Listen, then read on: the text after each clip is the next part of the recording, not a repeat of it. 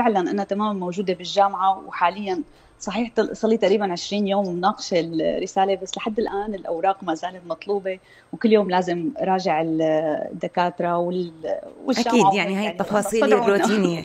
هلأ المهم حصلتي على هذه الدرجة يعني هلأ يعني آه وقت عم نقول أول دكتورة سورية بالإعلام يعني قد إيه هاي المعلومة نعم. دقيقة؟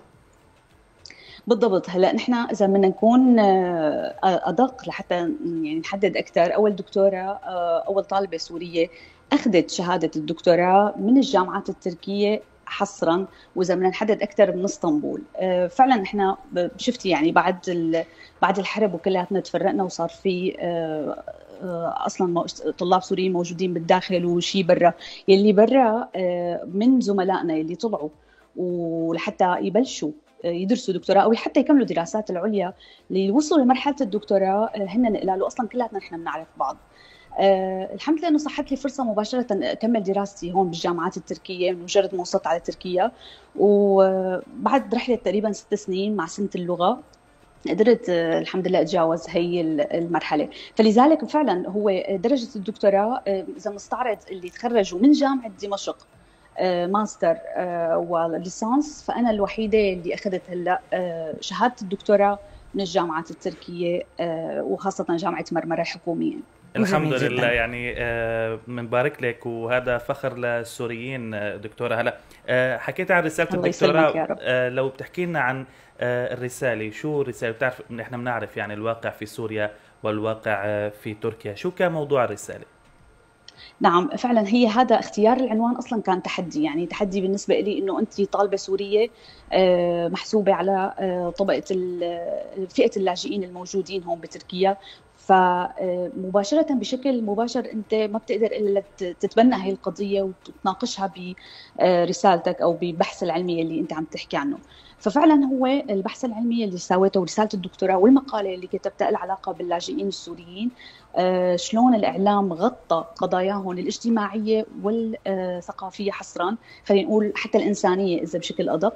وكيف كان الإعلام أصلا عم يمثل قضايا هون؟ فعلا كانت الرسالة كبيرة موزعة على ثلاث آه، أنواع آه، من الأدوات المنهجية اللي استخدمت تحليل مضمون واستبيانات وحتى مم. مقابلات مع الصحفيين يعني هذا هذا الكلام كثير مهم يعني انت أدرى الناس ونحن أدرى الناس إنه هذا الكلام كثير مهم.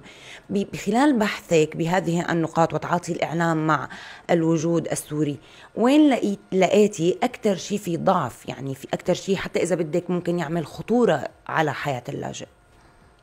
فعلا آه، اذا بدنا نحكي آه، بالنسبة للشق التحليل المضمون هو كان أكثر حدا آه، متبني قضايا اللاجئين بشكل قوي لأنه أنا حللت مضمون قنوات ألمانية وبريطانية وفرنسية وقناة الجزيرة القطرية.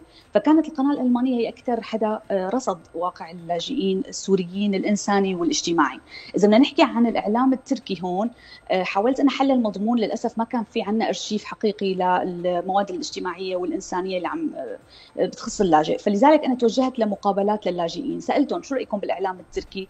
آه، كيف عم تحسوا بيمثلكم بيمثل قضاياكم؟ ف يعني تقريبا 90% من الإجابات قالت إنه الإعلام التركي للأسف عم يحاول يشيطن دائم قضايا السوريين اللاجئين السوريين يستخدمهم كورقة ضغط ورقة سياسية بيتحركوا فيها. أحيانا بيكونوا هن ضحايا الإعلام.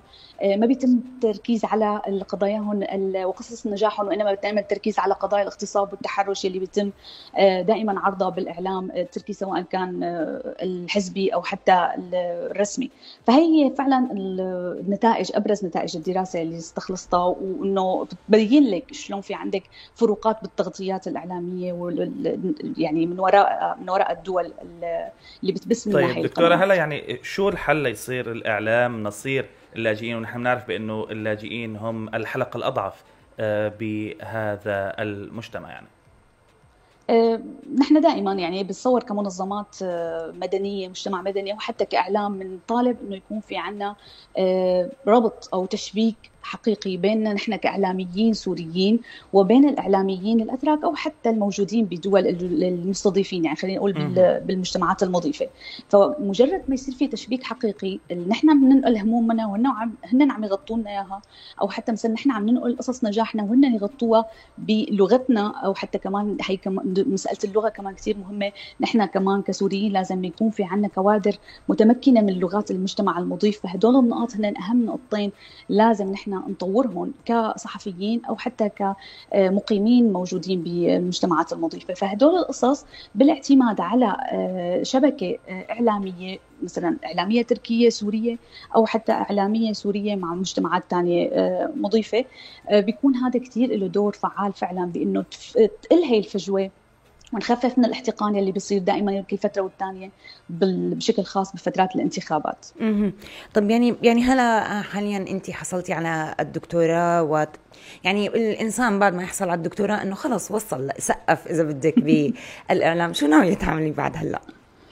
أه والله دائما عندي كثير خطط يعني اللي بيوصل لمرحلة الدكتور بضل عينه على البروفيسور فأنا عندي إيه يعني إنه عندي إنه هذا الحافز إنه أنا أوصل لهي مرحلة الأستاذ مساعد وبعدين أستاذ مدرس البروفيسور. فإن شاء الله أوصل بيوم من الأيام. بس طبعا أنت بتعرفي إنه نحن كمان آه، في عندنا مشكلة امكانيه إنه السوري يسافر بشكل أو بآخر. فأنا عم بحاول هلا راسل الجامعات. أقدر كمل هي المرحلة الدراسية برا. قيمك عن إنه الجانب الأكاديمي كمان أنا بدي أعزز وجودي أكثر آه، ب آه، هي من ناحية الدراسة من ناحية التدريس كمان بنفس الوقت. وبحس إنه ما لازم أتخلى عن مهنتي الأساسية اللي هي مهنة الإعلام. لازم أحاول أوازن بين هدول فعندي كثير خطط إن شاء الله أقدر اساويها جميل.